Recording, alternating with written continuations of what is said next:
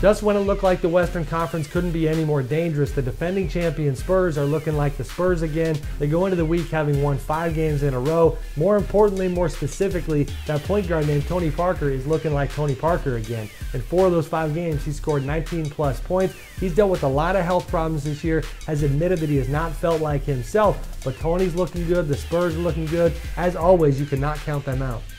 Russell Westbrook's onslaught continues, and he is setting quite the stage for a big time game on Wednesday night. OKC against the Clippers. That means we get Russ against the one and only Chris Paul. Should be a lot of fun, but make no mistake, nobody in the league right now is as dominant as Mr. Westbrook. Five triple doubles in his last six games. The most recent coming Sunday night against Toronto 30 points, 17 assists, 11 boards. And let's not forget, take a minute to remember what he's been through and appreciate the fact that he's finally healthy, finally playing at the top of his game again.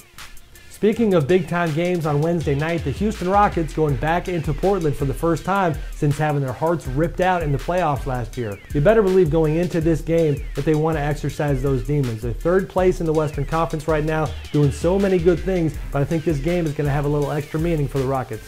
When I sat down with Kobe Bryant recently in Newport Beach to discuss his documentary, he made a statement that I think plenty of people would disagree with. He said the fact of the matter is everybody wants to play for this organization.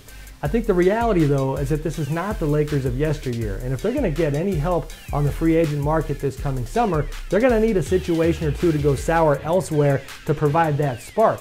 So on Sunday night, when the Dallas Mavericks came into LA and beat the Lakers with Kobe Bryant sitting on the bench, you got to believe he sat there watching Rajon Rondo and wondered where his head would be at in July when he becomes a free agent.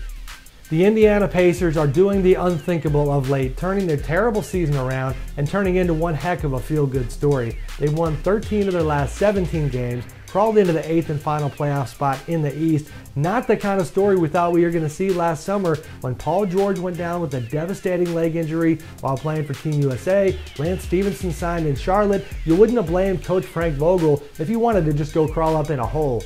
Lo and behold, here they are. And then how about this? Paul George is aiming to come back in mid-March or late March, should be ready in time for the postseason.